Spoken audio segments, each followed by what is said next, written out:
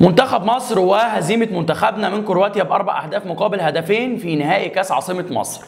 نتيجة كبيرة وشكلنا كان وحش في الماتش وأدائنا كان سيء لكن في إيجابيات طلعنا بيها من البطولة دي. من الحاجات الإيجابية طبعا في بطولة كأس عاصمة مصر هو الحضور الجماهيري وعودة الجماهير مرة تانية للمدرجات ورا منتخب مصر. استاد مصر بالعاصمة الإدارية كنا عملنا فلوج عن منتخب مصر. وعن استاد مصر في العاصمة الإدارية.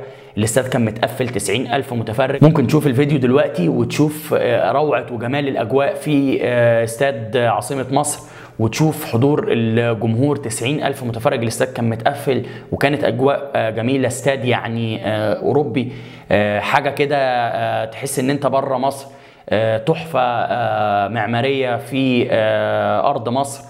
إن شاء الله يعني الماتشات اللي جاية نشوف الحضور الجماهيري للمنتخب بنفس الشكل ده ويكون الاستاد متقفل في كل الماتشات الخاصة بمنتخب مصر.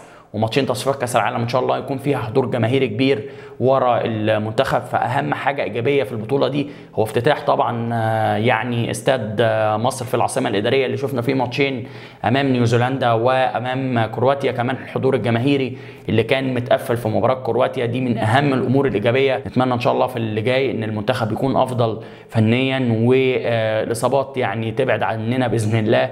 ويرجع لنا القوام الأساسي للمنتخب علشان إن شاء الله في ماتشات تصفيات كأس العالم نقدر إن إحنا نفوز ونتأهل لكأس العالم بإذن الله. إيجابيات استفدنا بيها مش بس في مباراة كرواتيا في البطولة بشكل عام في المباراتين اللي لعبناهم في كأس عاصمة مصر. هنتكلم عن الإيجابيات دي وفي سلبيات كتيرة وفي مشاكل كتيرة موجودة في المنتخب. كل ده هنتكلم عنه في الفيديو ده بس قبل ما ندخل في التفاصيل ارزع اللايك المتين وما تنساش تعمل اشتراك في القناة عشان أي حاجة جديدة توصلك على طول. يلا بينا على التفاصيل.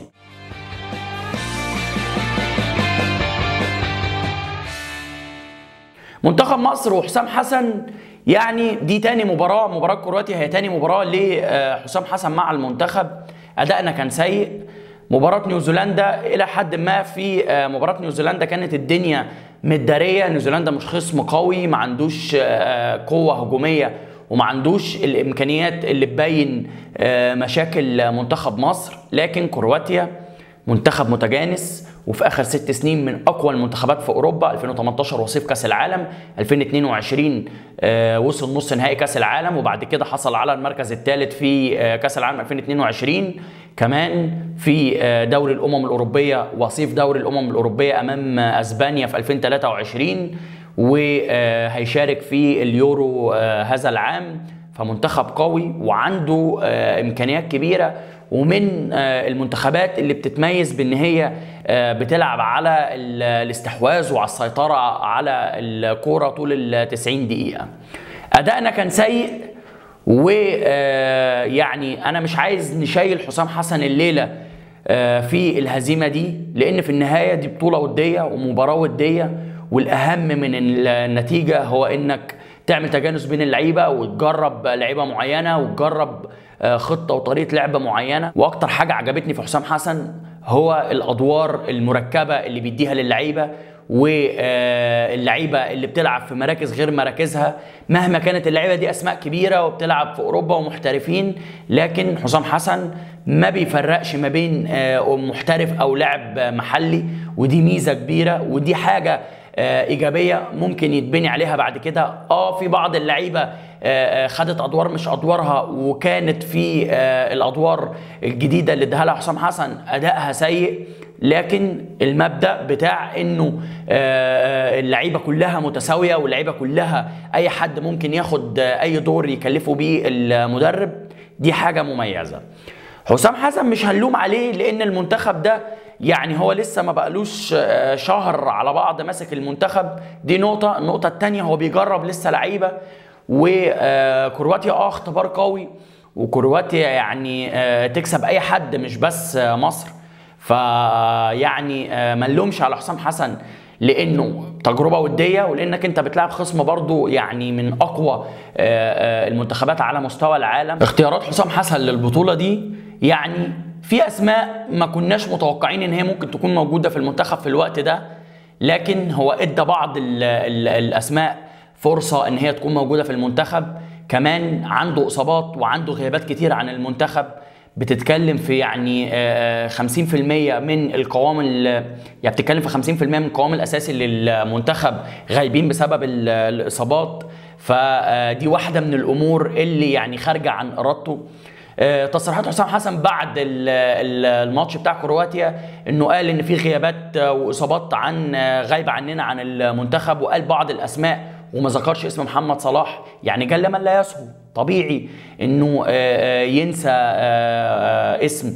آه محمد صلاح مش أي حد ومحمد صلاح يعني من أفضل لاعبي العالم وأسطورة مصرية. لكن يعني ما نجيش في الهيفا ونتصدر. ما نجيش نقول أصله قال لعيبة وما قالش محمد صلاح. طب ما كان ممكن نقول محمد صلاح هنقول في لعيبة تانية ما قالهاش. فيعني ال- اللغط اللي حصل على قصة إنه ما قالش اسم محمد صلاح في أسماء اللعيبة اللي غايبة يعني آه، أمور بصراحة تافهة ومش ده اللي إحنا يعني بنفكر فيه في الوقت الحالي. هدفنا واللي بنفكر فيه هو تصفيات كأس العالم في شهر 6 عندك ماتشين يعني حياة أو موت وهيحددوا موقفك في التصفيات وهيحددوا هل أنت هتكمل في في المنافسة على الصعود لكأس العالم ولا لأ. ودي فعلا التجربة بقى اللي هنحدد فيها حسام حسن قادر إنه آه، يعني آه، يتولى مهمة المنتخب ونعتمد على آه، حسام حسن الفترة الجاية ولا لأ. فماتشين تصفيات كأس العالم هم التجربة ال- ال- الحقيقية وهم الاختبار الحقيقي لحسام حسن وللجهاز الفني. عندنا مشاكل في المنتخب دفاعية وهجومية من كأس الأمم ومن قبل كأس الأمم ومع فيتوريا ومن قبل فيتوريا والمشاكل واضحة للجميع.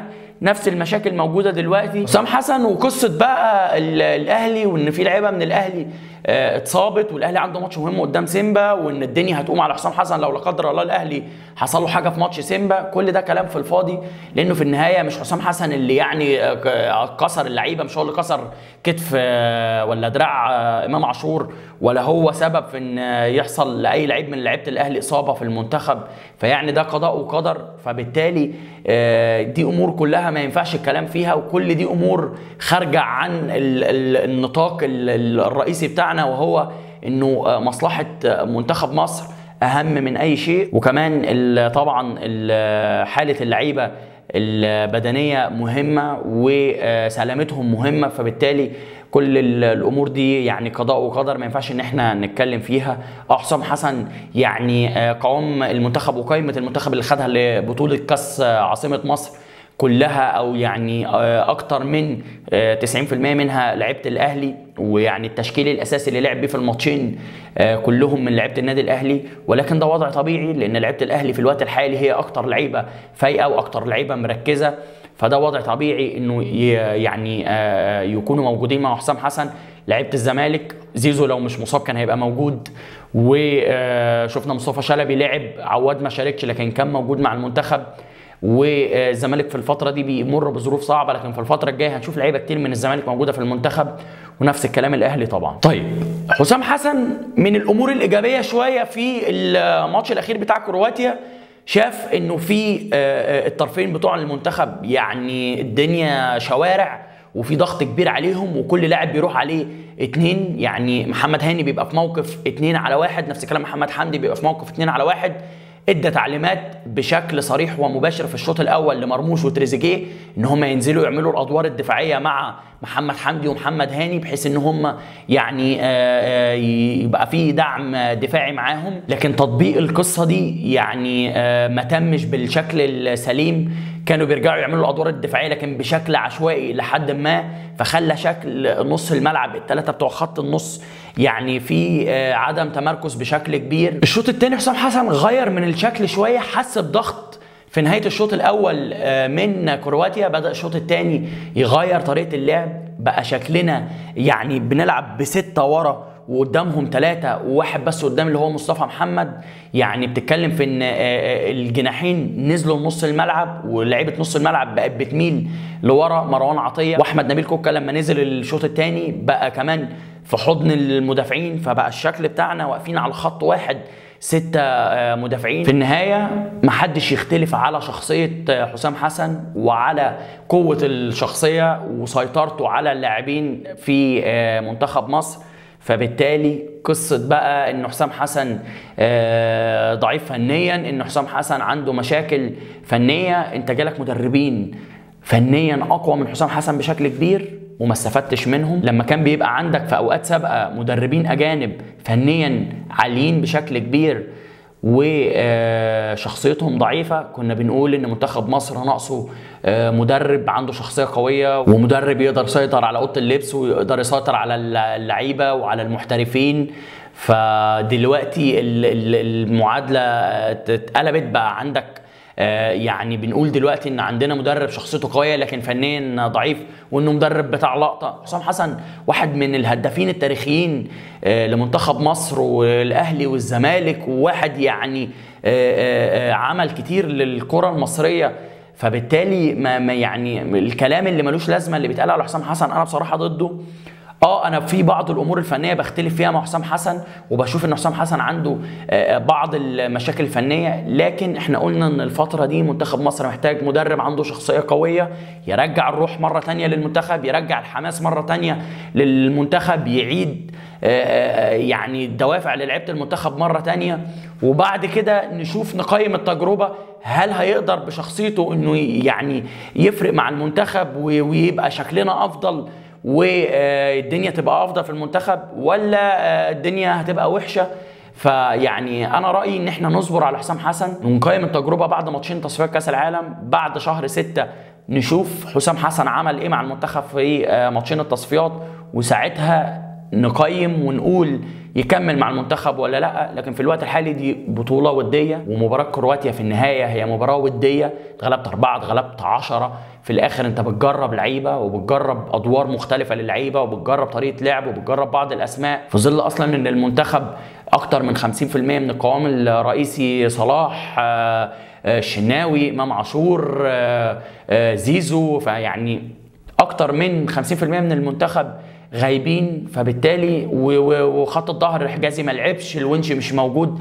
فيعني في كل خط كمان عندك آه، لعيبة غايبة؟ كل التوفيق إن شاء الله فيما هو قادم لمنتخب مصر وبإذن الله المنتخب يرجع لسابق عهده. ده كان استعراض لمباراه منتخب مصر أمام كرواتيا وبطوله كأس عاصمة مصر بشكل عام. أداء المنتخب الأمور الإيجابية اللي طلعنا بيها من البطولة دي هو طبعا شكل الجمهور اللي يفرح وعودة الجمهور تاني للمدرجات. كمان آه، التنظيم الرائع وقدمنا يعني آه، شكل محترم للعالم كله في البطوله دي على مستوى كرة القدم طبعا فنيا محتاجين نطور بشكل كبير محتاجين الأداء يبقى أفضل بإذن الله في المرحلة المقبلة. كل التوفيق إن شاء الله لمنتخب مصر في المرحلة المقبلة. سلام.